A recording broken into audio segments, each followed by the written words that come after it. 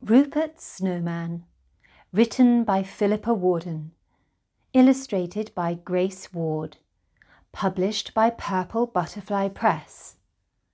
Read with the kind permission of the author.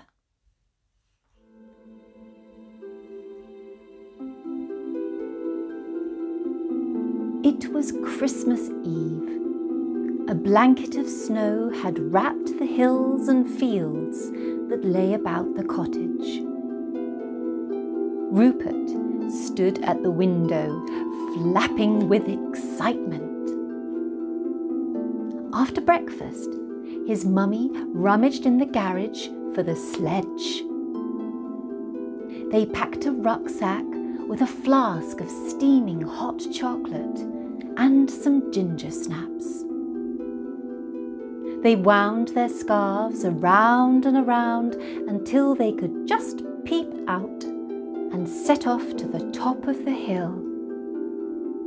Stopping sometimes to make a snow angel, the two made their way to the top.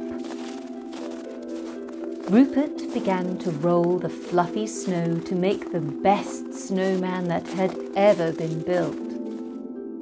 It stood almost as tall as his mummy.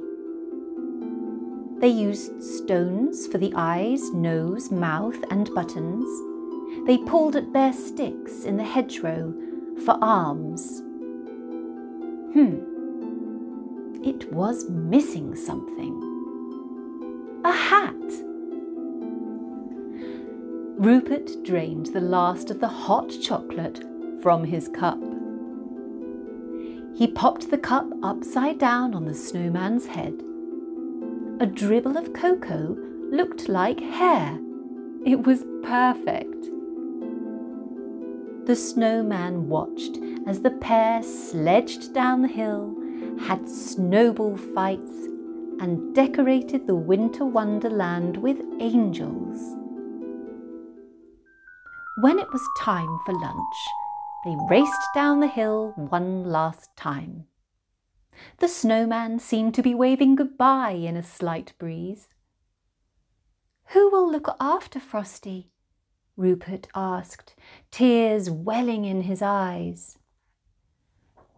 The birds, the mice, and the deer tonight, came the reply. We can't leave him, off he flew, racing back up the hill. He threw his arms around Frosty and whispered his plan. Together they rolled the last of the three snowballs onto the sledge, carefully laying the twigs and stones beside them. Rupert squealed as he rebuilt Frosty next to the apple tree.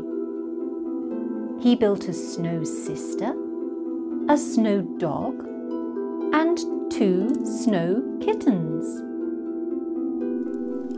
Just before he went to bed, Rupert looked at the scene lit up by the flickering light of the log fire through the living room window. An entire snow family to keep Frosty company while Rupert waited for Father Christmas to arrive.